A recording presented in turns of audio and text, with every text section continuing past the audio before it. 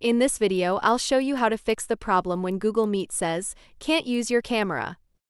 First, open Google Meet and click on the settings icon at the top right corner.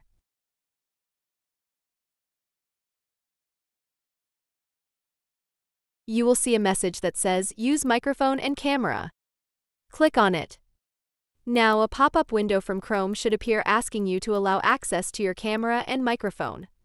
Click on Allow this time or Allow while visiting the site. After that, your camera should start working normally. But if this pop-up doesn't appear and your camera still doesn't work, then follow these steps.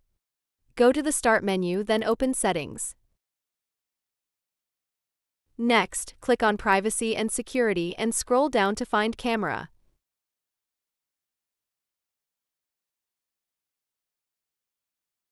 Now make sure the option Let desktop apps access your camera is turned on. Then go back and do the same for the microphone.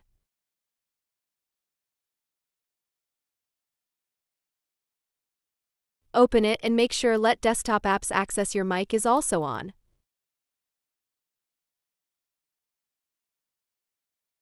Now let's try another method that may help.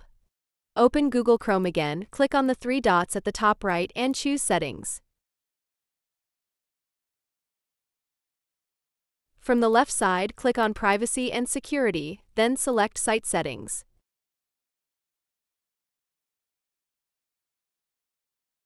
Here, scroll down and find meet.google.com and click on it. In the Permissions section, find Camera, open the menu, and choose Ask or Allow. Do the same thing for the microphone, make sure it's not set to block. Finally, I recommend restarting your PC, because sometimes a simple restart can fix system glitches that stop the camera from working. And that's it.